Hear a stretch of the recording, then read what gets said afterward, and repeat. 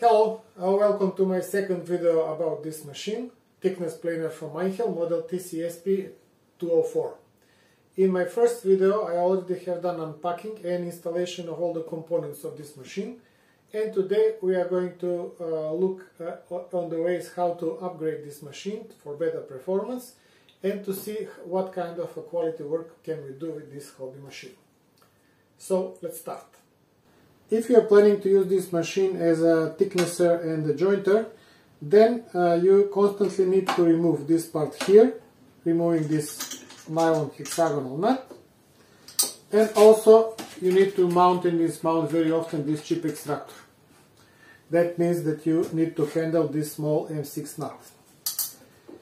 Easy solution for this replacement is to use maybe some wing, winged nut it can also do the job but if you have some spare time you can make your own own knobs. Uh, for this knob here I use the M6 long nut one bottle cap and uh, hot glue hot glue gun. I just simply uh, position the nut inside the cap and then fill it with the hot glue. After a few moments after a few minutes, after the glue cool, cools down, I have very, this very nice knob. So let's mount it down here.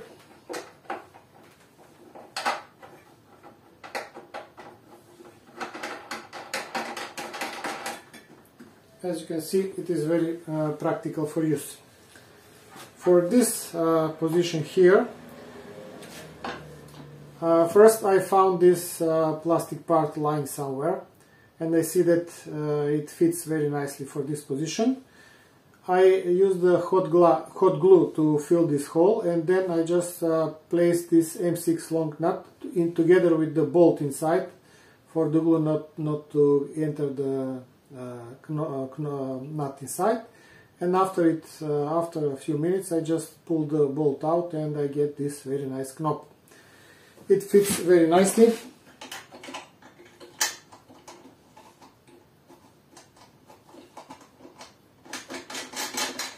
and makes the job more easier. So after replacing these two knobs we are going to continue with our upgrade. Next thing is our uh, our fence.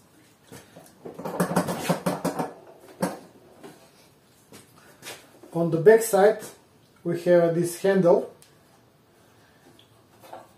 that help us to lower the uh, fence according to our desires from 0 to 45 degrees. If you look at this handle here, sorry, we can use this handle without problem when the fence is in the position of 90 degrees. but if you want to lower this fence, we can see that the handle is uh, hitting the fence. Uh, this is not a uh, design flaw because the uh, have come up with the solution to use this handle. Let me just show you. By pressing this handle you can turn it like this and then just continue to tighten it in the desired position. So you can actually tighten the the handle even in, in this position no, it is not very convenient for for use. Okay, job is done. What we can do in this position is to replace this handle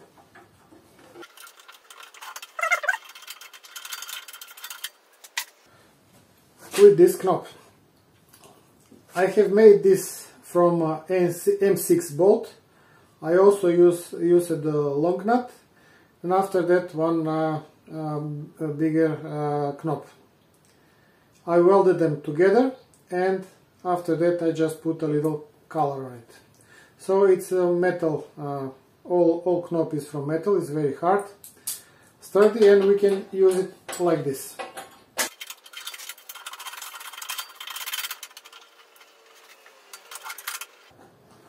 So as you can see manip uh, manipulation with this knob is now much much easier. You can replace it if you like it, otherwise you can use the original handle. Okay, we are continue also with the fence. The fence on uh, this machine is made out of uh, sheet metal. It's about 3 millimeters thick. Dimensions are 53 centimeters by 11 centimeters high. It is in, reinforced in the middle with these two bendings, as you can see. But still, this fence is uh, uh prone to bending on the back side of this uh, fence we have a system with a few bolts that give us an opportunity to adjust the bending of this uh, fence. Anyway, uh, two things are bothering me with this fence. First is uh, uh, angle of this fence. As you can see, because of the bendings uh, on the sheet metal, there is no straight line here on the this fence and second thing uh, because this with this uh, by me it's the biggest problem uh, this fence cannot be moved uh, left and right this is the only position for the fence that way when we are working with the materials wood is always coming on this part of the knife and it is the very edge of the knives. Uh, this part will be uh, become dull very very fast. Uh, what can we do to uh, to make this uh, rail better, this fence better? Solution is very simple. Uh, we are going to use one piece of material and we are going to place it like this after that I'm going to put uh, two bolts, one here, one here, and I'm going to fix this uh, uh, piece of wood to uh, my rail. Okay, uh, now we are going to check the results of our work. As you can see, angle is now perfect on the front and the back plate. Now I would like to talk about the front and back plate and their position of this planer. Uh, as you know, this planer can be adjusted from uh, 0 to 3 millimeters depth. And this is the setting for 0 millimeters on the knives. As you can see, there is a maybe half a millimeter here space in this moment there is no wiggle on the front plate but if we go down that is uh, one millimeter. Then you can notice and you can hear the wiggle on this front plate. It is not very big. This is the position at the front. This is near the knives difference in my case on my machine is not bigger than one millimeters. Difference here and difference here. As you can hear also if, if I go down to 3 millimeters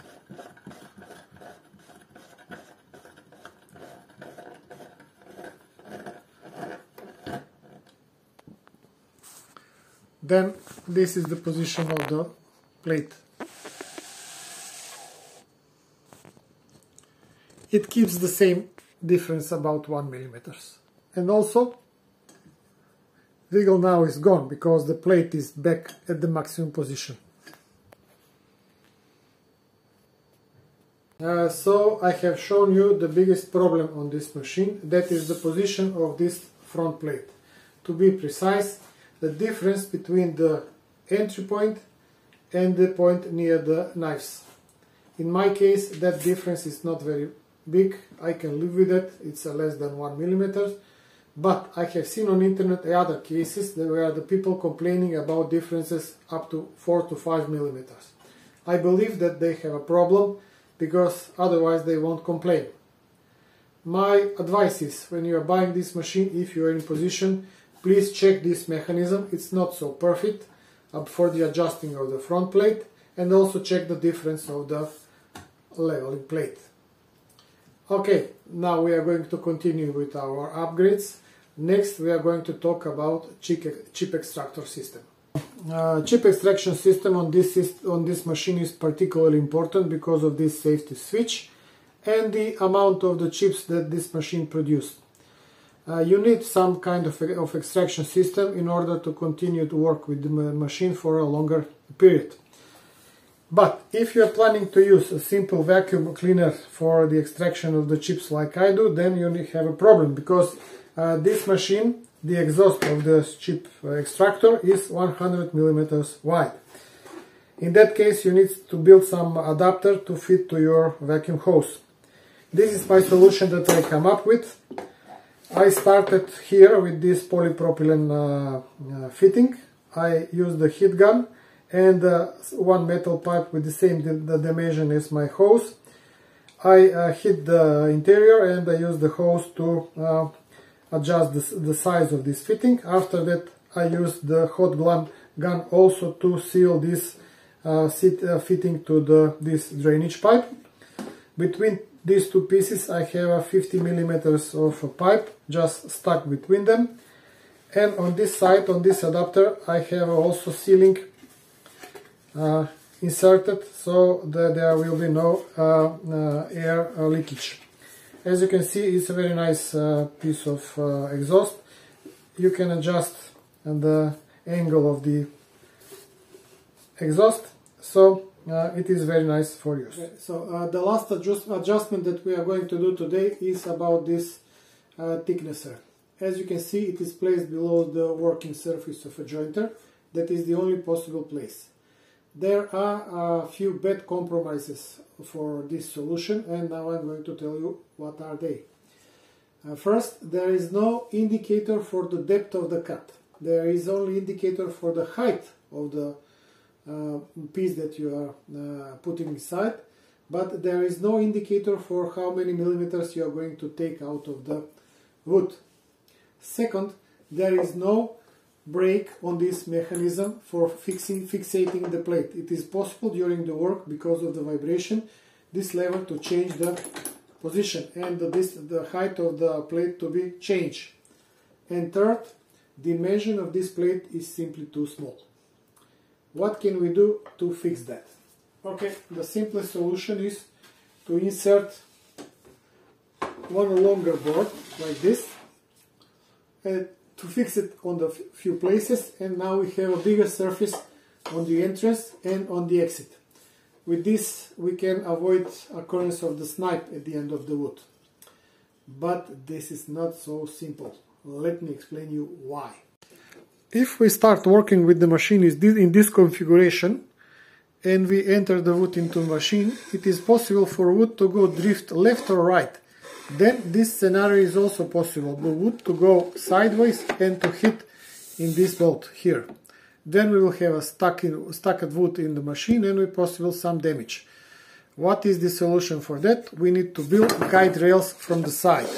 Let's see the original design. So this is the original working uh, surface of this machine. As you can see on the side we have some rails that are protecting the wood to go sideways and to hit the balls. Uh, this is a good solution and we are going to do the same on our inserted board. I'm going to use these aluminum pieces to create some kind of protection from the side so the wood can go only straight.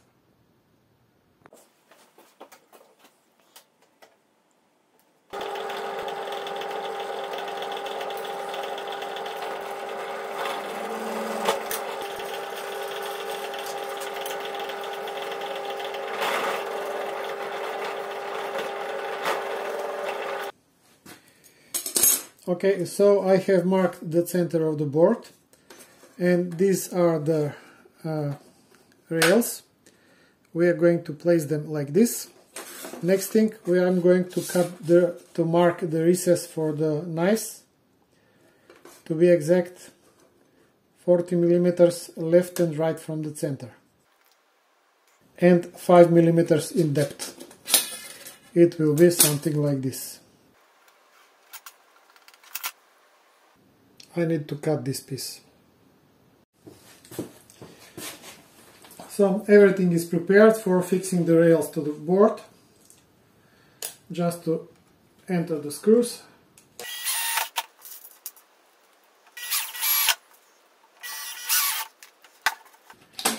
And the last two at the end.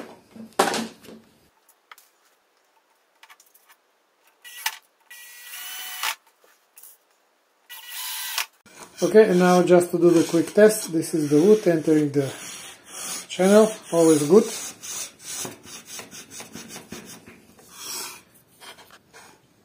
Hmm. Maybe I will grind this part a little bit more.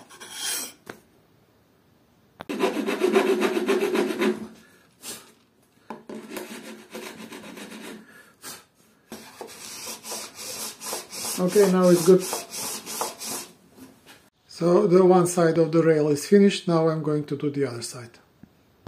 Okay, so our lower pl platform is ready. We have a fence from the both sides and we have marked the middle of the board. Now I'm going to insert it in the thicknesser.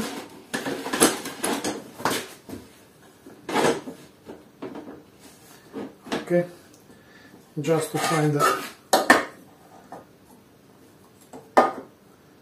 good position. That's okay. so I have lifted the uh, lower platform to the maximum just to see if there is any uh, blockage on the movement on the knives. I don't see any uh, problem. I'm at the maximum height for this situation and uh, now I'm going need to fix this uh, lower board in this position. In order to fix the lower platform, first I'm going to drill three, two holes here and fix this piece of wood to the existing metal and after that I'm going to place the, place the board, find the spot and fix the board to these two pieces. And what I'm going to do now, I'm going to apply a little bit of wooden glue here, also at the back. I will Then I will take all the complete jig out and I will fix it with uh, right screws. Okay, uh, so we finished with the upgrades of this machine. Now we are going to test its performance. Uh, for the beginning I have dismounted the additional uh, uh, fence where we are going to uh, work with the original configuration and after that I will mount this board here to see is there any difference in the precision of the uh, working of this machine. So let's start it.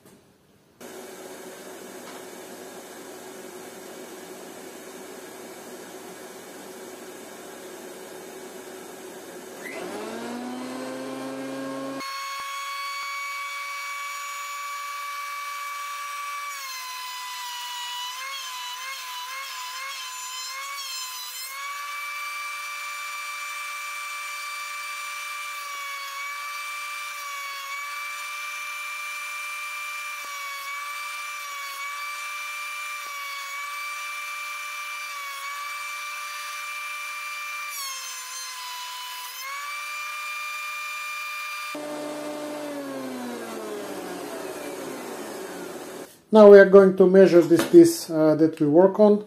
Uh, on uh, this side we have 15 millimeters. On this side we have 16 and a half. On this side is 15. And this is also 15. So uh, this piece uh, is a little bit thicker on this place here where the burn is. Uh, we are going to run through the thicknesser and to see the result. Now I want to check the uh, square. As you can see the result is very nice from this side. Let's check the other side. Also perfect and the third side also Okay, uh, now I'm going to mount the addition to the fence and I'm going to check if there any improvement in the work.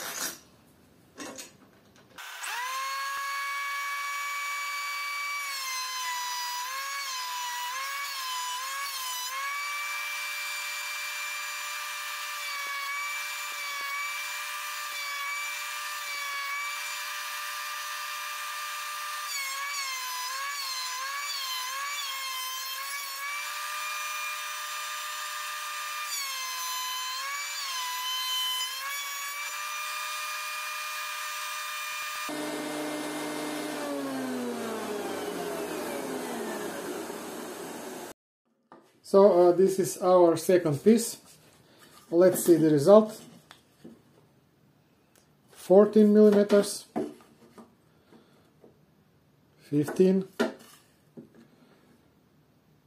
14, and this side, this is 13 and a half. So uh, I'm struggling to find the right angle for showing you the square. Uh, but you can see that uh, this is perfect. Uh, okay, uh, I would like to give a short resume about this upgrade. Uh, honestly, I don't see any improvement in the quality of work with this addition, but it is much smoother for work when you have this board on the on the plate. So I will keep this as my constant option for work when I'm working with this tool.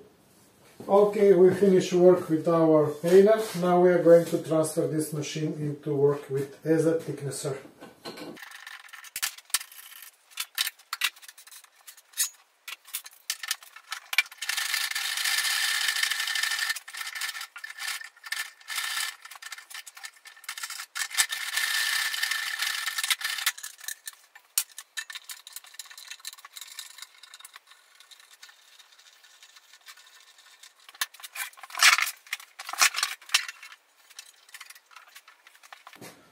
So now our machine is ready to work as a thicknesser.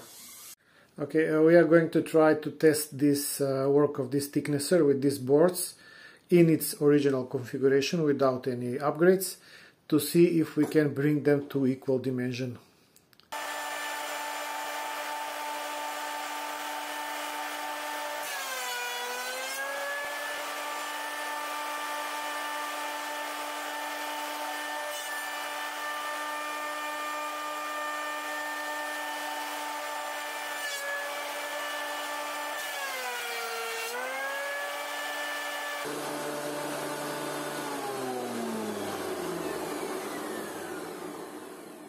Uh, so this is the result of the work of a thicknesser. As you can see, dimensions are quite uniform. Uh, surface is smooth.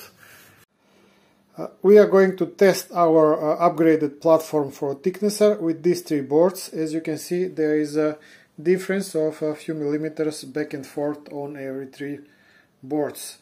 We will try to bring them to the same dimension.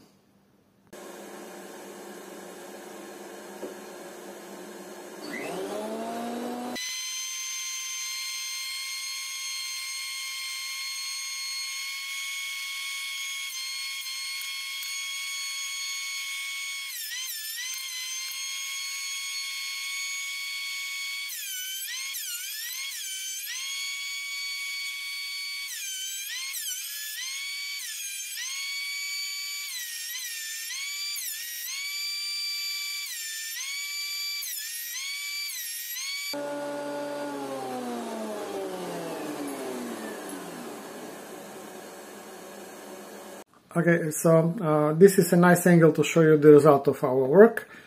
These bigger boards are done with the extended platform. As you can see, boards are leveled quite nice. Same on the back, cross, the other side, quite nice. These uh, three smaller boards are done with the original small platform and this is the result. Quite nice also.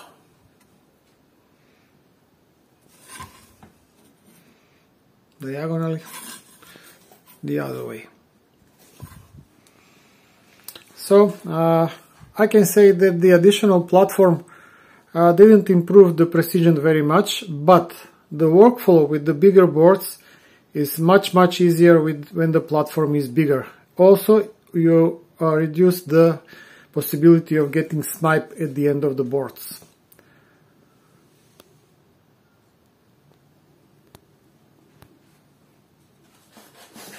Okay, now thank you for watching this video until the end. This is the end. I hope that you like all the upgrades that we've done to our machine. If you like to see more videos from me, please subscribe, share, uh, and anything you like. Leave a comment, that's the best uh, reward for me. Thank you very much once again, and I hope you to see you in the next video. Bye!